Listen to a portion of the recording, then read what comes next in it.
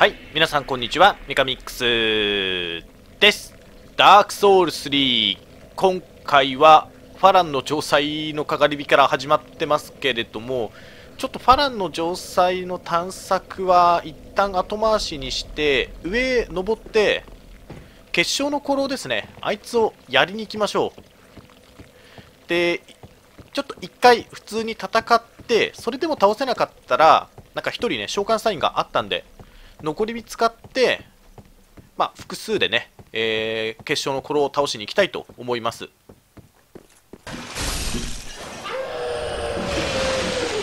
そういや、ここのアイテム取ってなかったわ。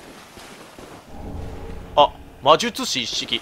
やはりここは、魔術の地域なんだな。古老の指輪。指輪か。でもこれもなんか魔術師系っぽいよね。一応今のところ、近みはもういらないか外しとこう。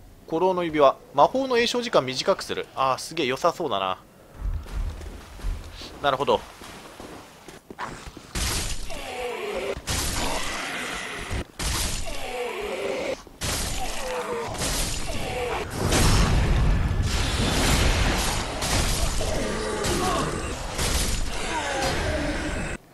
霧ができているそして盾をちょっと魔法カット率の高い盾にしました、まあ、物理は多分そんなに食らわないと思うんで。でそうすると騎士の手甲がつけられんな。上もかぶれるかな。それは無理か。全然足りなかった重量が。ちょっとこれで一回やってみましょう。エストは2つ使ったけどまだ7つあるからね。でちょっと詰める。最初は。おお。ほら。やたら接近しないとこれ。当たんねえな。で半分くらい減ったところがかなり勝負ではある。ちょっと両手持ちにしちゃおう。あっちか。ちょっと一回振らせて。ほら。うん半分減ったかな。本当に半分かどうかがよくわかんないからね。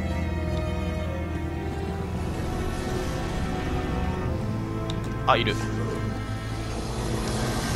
でスタミナを回復させていや半分減ったところであいつ逃げるな。さてここからか。ん？どこだ？ああいつ。いや違う。紫だ。分かった。紫だ。ただしかなりの手数だ。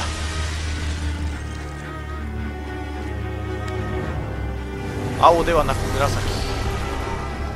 青。うわ弾幕が半端ない。ちょっと待ってどこだ？奥にいる。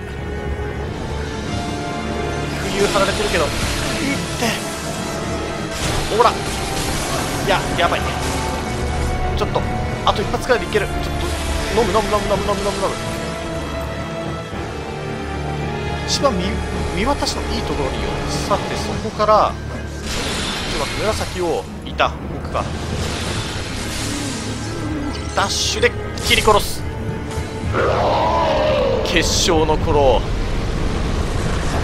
からくりが分かれば決勝の古老のソウル。OK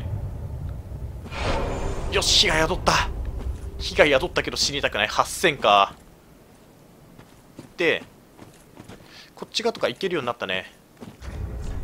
えーとちょっと盾外して盾どっちがいいんだろうな。総門がカット率89か微妙だな。いやちょっと総門にして総門にすると鉄鋼が装備できるかちょっと総門でいこう。じゃあ一回帰ろう。8900あればレベル上げ1できるっしょ。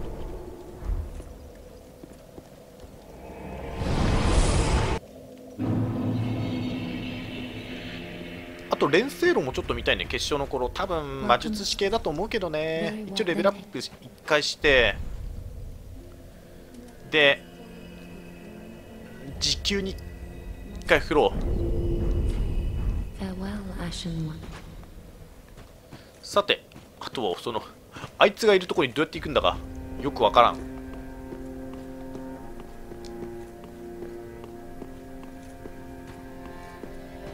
関係ないよね。あ教えてやる何？ダークレイスを殺したまえ。精進の生き残り。奴はずっと囚われている。ロスリックの最も深い地下牢に。あれ？なんかくれたんだけど。リフト部屋の鍵。俺には分かる。侵入し奪いたいのだろう。いやそういうことは今はしたくない。話しかけよう。異教のソウル持ってきたよ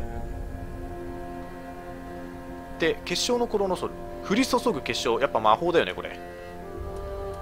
結晶の頃あとは差し剣か。まあ試験だよね。特に利力が必要ってわけではないけどまあ試験だから。あ魔力がついてるね。使わないけど。デーモンって誰だっけ？誰倒した時？ああのデーモンか。今のとこ特になんか欲しいっていうものはない。この3000ソウルをじゃあ何に使うかっていうところ。こいつからお買い物していく？なんか欲しいもの。松ヤニ系とかやっぱ欲しいは欲しいんだけどな、まあ、今のとこ全然使ってないからね。残り火。残り火買っとく？いやまあままだいっぱい持ってるからいいや。こいつからのお買い物はない。ちょっと話してみよう、うん、まだどっか行ってくれるかなって思ったけど。ある程度進めないと行ってはくれないか。ばあさんからお買い物。えアイテム購入。ここで欲しいのはばあさんの抹茶に抹茶に残り火ちょっと竹頭蓋もいらないしな苔玉か苔玉ちょっと持てるだけ持っとこう結構竹じゃ戻りますか先へ進みます転送でえっ、ー、と結晶の頃あ結晶の頃のがファランの城塞より上だなじゃあ結晶の頃から進めていこう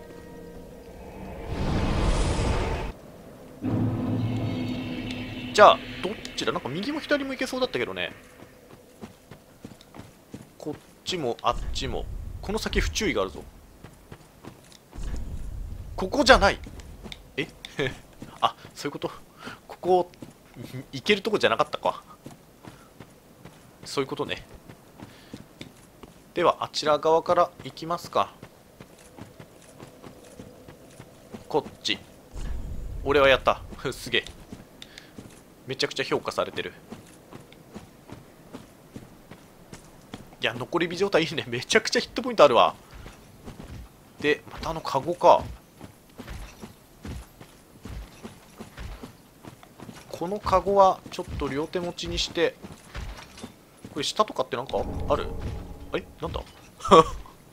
なんだ？なんかいたのか？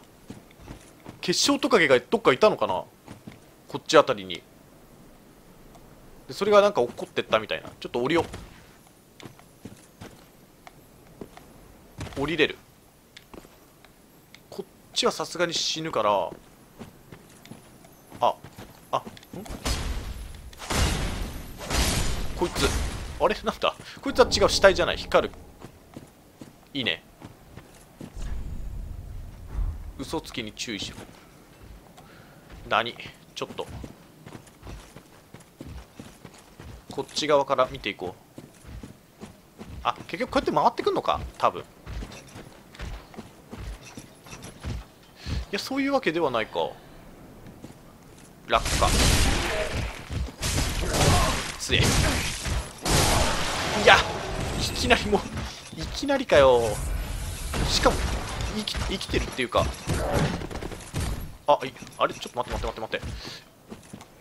落っこっちったよ。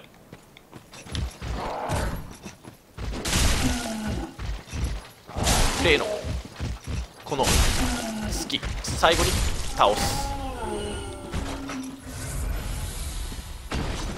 ヒットポイントが高いから。S と1個で回復がしない。あのばあさん。倒すか。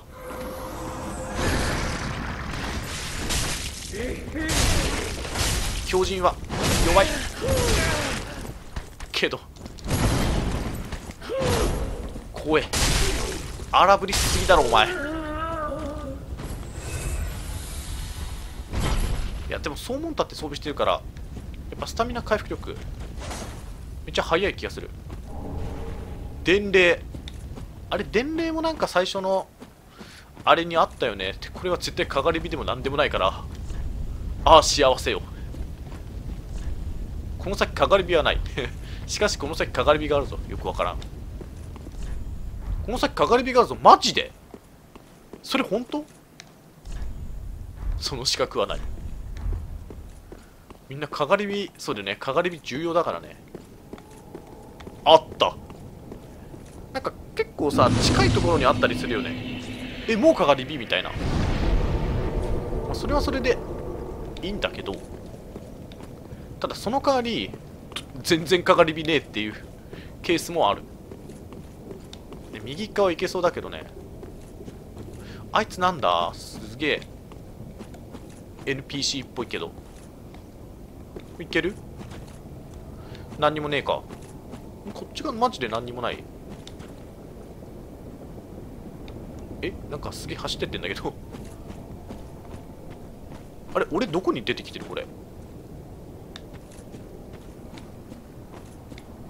あれ？全然違うとこに行っちゃった。山道登ってアイテム。紋章かジャンプ攻撃は有効。ああいつね。なんか血があるけどね。誰か死んだのかな。くそ外した。外したけど。なんだよ。いっていってえ何に何何何何何投げナイフ？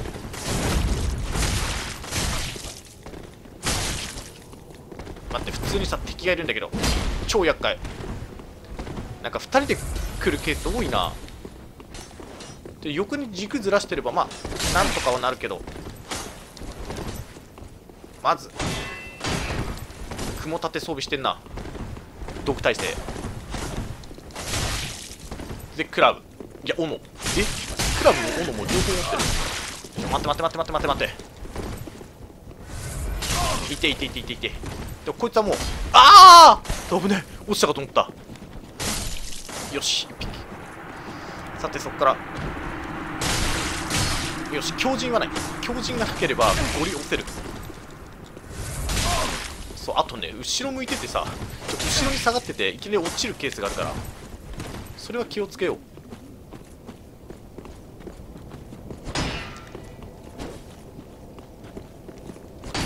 パリーできなかった。パリーを狙った俺が。さあ来い。全然タイミング違え。まだ S と4つあるからね。かかり近いし。はっ！適当パリーにはまるとは。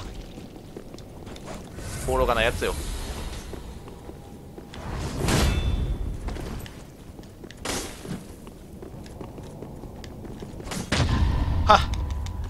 どうだ？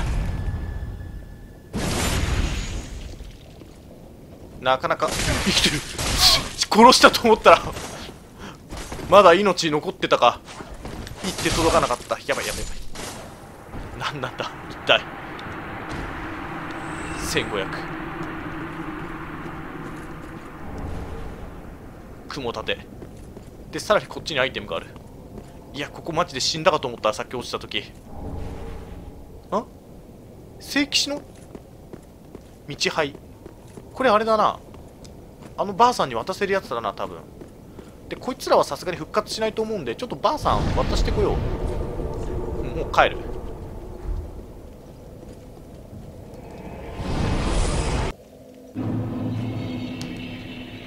よし。また新しく何か販売してくれればそれで買おうこれはこれなんていうの？道灰新たな品。なんで灰で何か作ってんのかな？このばあさんは。あ花苔がある。花苔でも4つしかない。限定か。1000円。4つ買って終わりだな。節狩りの5符決闘の5符って何これ？干からびた指。これよくわかんないんだよね。シミターとかって売ってたっけ？祖父のタリスマン三日月夜のハルバードが売ってるようになった。ハルバードって謎のハルバード持ってんだよね。赤塚のハルバード的なやつ。あこれ何？ロイド盾の指輪。ヒットポイントが最大の時カット率を一時的に高める。最初の一撃だけあれかなんかめちゃカットしてくれるみたいな。あまあ花ボケが買えるようになったのはいいかな。ちょっと一応買っちゃおうもう全部、まあ、持ってて損はないしそもそもソウルはなくなっちゃうしだったらアイテムに変換しておこう。転送。あれ？あないよね。で深みの聖堂。ちょっと待って。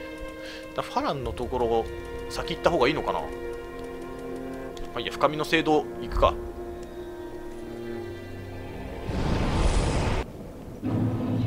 深みの聖堂。じゃあ先へ進んでいきますか。さっきこっちの方から来たんだよね。あで結局この上に出てきたのか。だから今はまっすぐ進んで OK で奴らはもういない。当たり前だけど。この先左が有効だ。左。え？どういうこと？こっちへ進んで行けばいいってこと？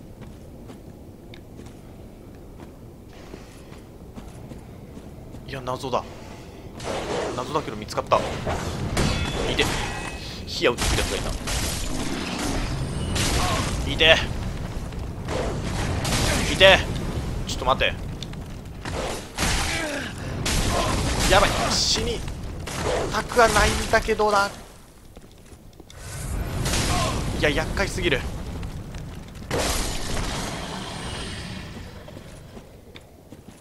こっから後ろに。後ろ陣取るか。クロスボウやろうがクロスボウと犬のパターンか。いや一発で倒せない。一発で倒せないのは結構厄介だな。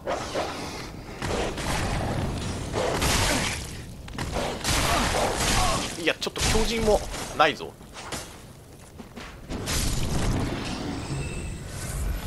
少しエストを使いすぎているが。しょうがない。まだでも5個ある。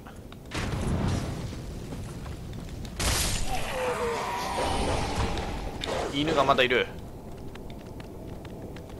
犬超厄介。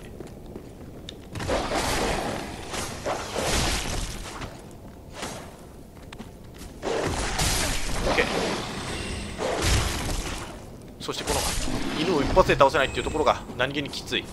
でこの回復量は施しじゃあここは制圧したかな？アイテムも多分もうないよね。なるほど。ここ正面で行くと結構狙い撃ちにされるけど左側から行くとまあ戦力を分散できるよっていうことかね。では先へ行きます。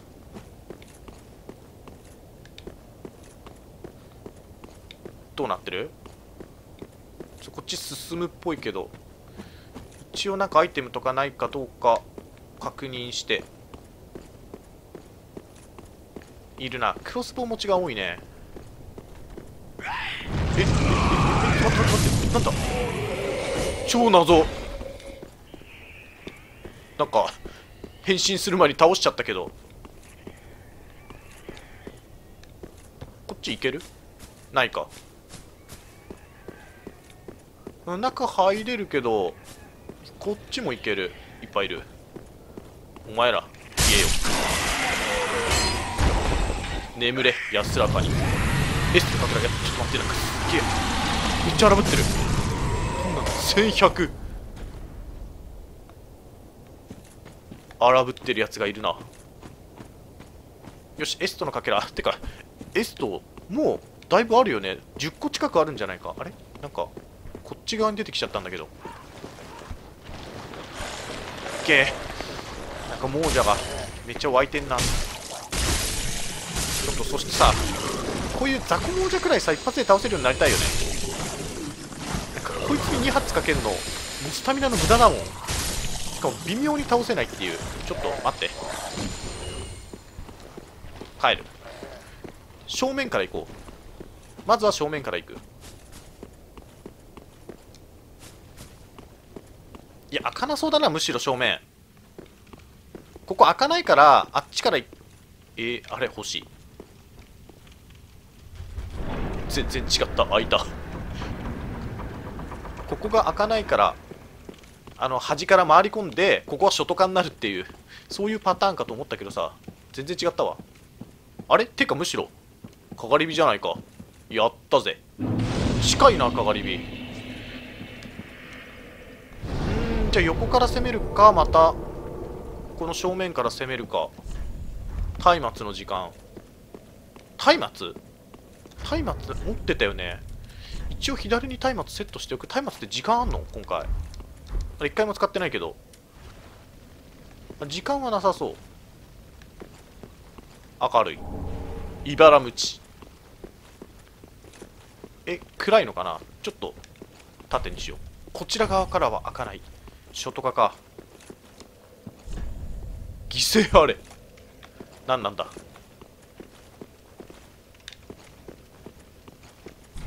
こちら側からは開かない。え結局ここはかがり火だけあって回り込んでいくっていうこと？なんかどっかに道があるってわけじゃない。この先武器があるぞ。どこだよ。あ茨道のことか。いらん。武器であればいいってわけじゃないからね。やっぱ有効な武器が欲しい。チャンスあれ。うんじゃあやっぱりあれだな。こっち側から攻めろっていうことね。ってか荒ぶり小僧がいるからな。お前らは一網打尽。で荒ぶってるやつが来るから一応。何なんだ？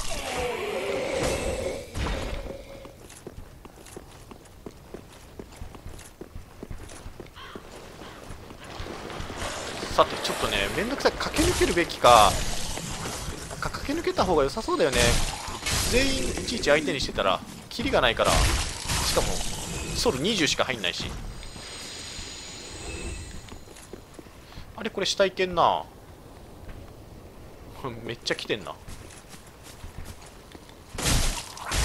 まあそこまで動きも速いわけじゃない。俊敏なわけじゃないし。ちょっとアイテム見ながら邪魔だったら倒す。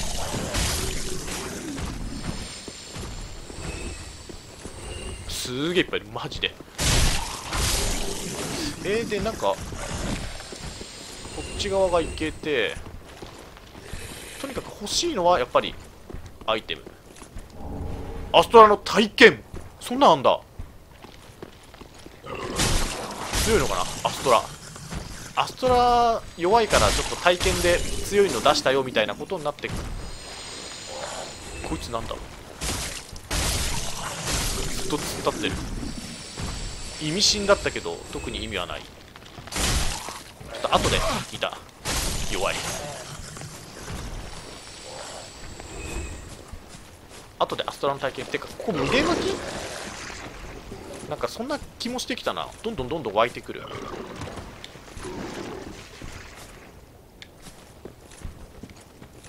こいつはほっとく。そう生かしといてやろう。死んでるけど。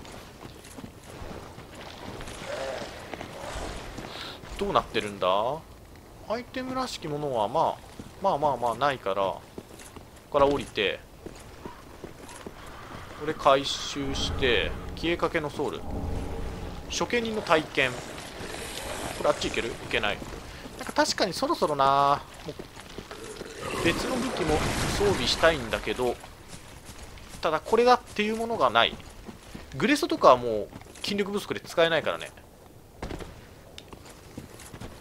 道合ってんのかどうか知らないけどとりあえず来たなん？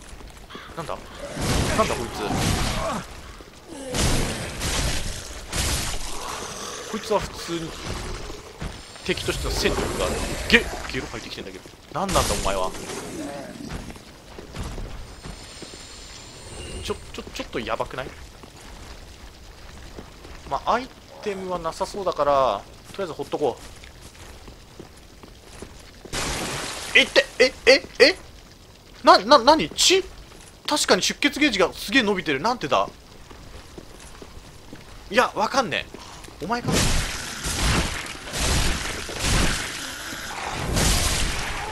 ってちょっと待てよ。いやわかんねえ。なんかなんかがあるんだ。からくりが。あそこにアイテム見える。ちょっと取りたい。いやちょっと待って待って待って。出血がマジわかんねえ。まあ、そこまでひどいダメージを食らうわけじゃないけど。いて。いや結構食らうな。だってこれ連続で食らったらまずくないか。なんだ？しこれ引っ張るな。そしてダメージ食らいつつさ出血ゲージ食らったらやばいでしょ。そろそろ出血するよ。痛い。ひどい。どんだけ血が出てんの俺。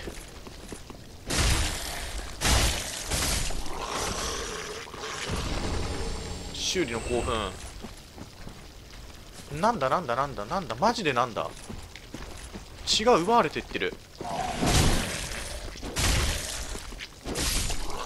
そろそろまた出血の時間だ。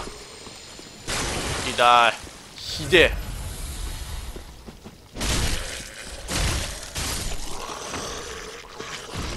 これでエストが尽きたらこれ毒よりやばいよねだって。泥やった。不死の遺骨。まあ来てよかった。最悪死んでもまあ収穫はありと。ありとみなしたいんだけどいっていっていっていっていっていってマジって。せめてかがり火が欲しい。かがり火近いなとか言いつつ次のかがり火がもう欲しいんだけどあアイテムアイテム錆びついた銀貨みたいなやつ。そろそろまた。てか重い。なんでだ？70.3? あ松明持ったからか。ち松明こんな重いの？重量1あれ？重量1か。松明1個で。眼薬。あっち側にも。あれ？なんか出血ゾーンがなくなった。よかった。どっからどこまでが出血ゾーンなんだ？これ開くちなみに。こちら側は開かない。こっちが出血ゾーンだよね。こっちの方行くと出血しだす。あれ？出血しなくなった。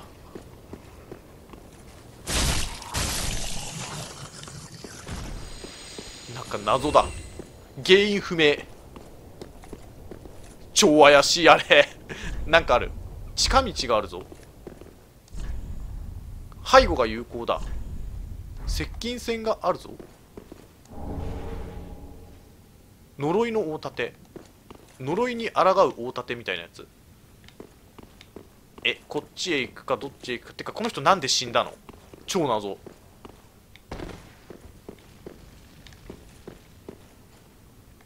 え？わかんねおいえはしご落とす？あこれでなんか初ト化になったってこと？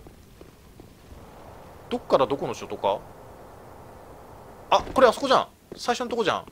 多分。あれ違う？ん？どこだ？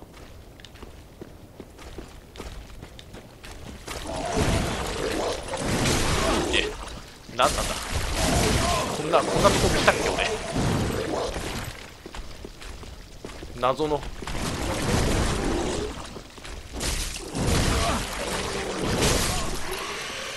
よし。捨てられた。ソウル。どこだ？書とかみたいなの開通してまた。まただよ。いや一応はしごは落としたは落としたんだけどそれがどこなのかがわからない。トカゲちゃん。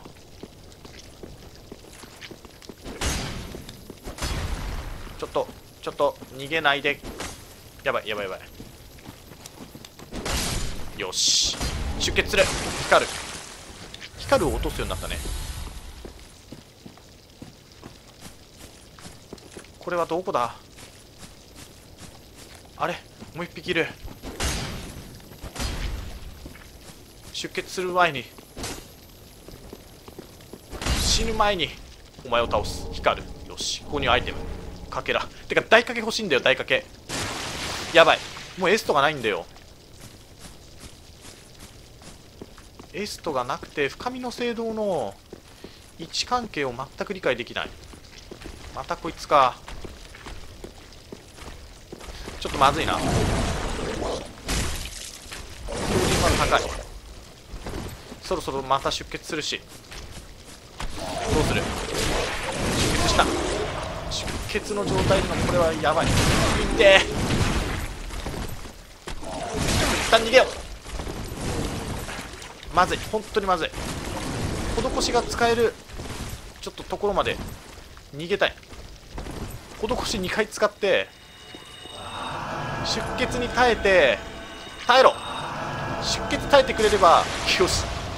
期間使おう。もうこれは無理だ。最後に休息したかがり火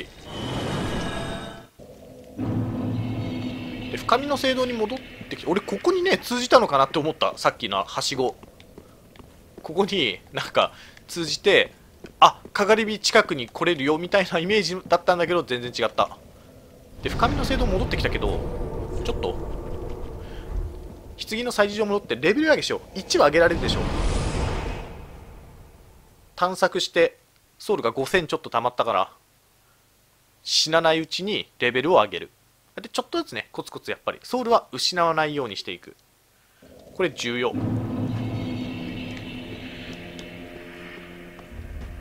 ひもりめちゃん名前がわからん。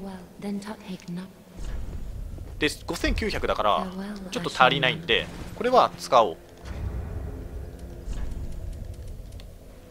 えっ、ー、と消えかけ捨てられた旅人のソウルは？これ800くらいだよねでちょうどレベルアップできるかな？よしちょうどレベルアップできるからじゃあ生命力を一旦20生命力20にして時給15になってるから筋力を18に上げよう。で筋力18にしたら時給を20まで持っていく。それでいこう。よしはいえー、というわけでねちょっと深みの聖堂も全然地形把握ができていないところなんですけれどもまあ深みの聖堂かファランかって言ったらでもファランの方が先にあるんだよね。コローファランだから。でこれ完全に深みの聖堂。これ生贄の道。でもファランなんか敵が強い気がする。こっちの方が今のところね探索は楽。深みの聖堂の方が。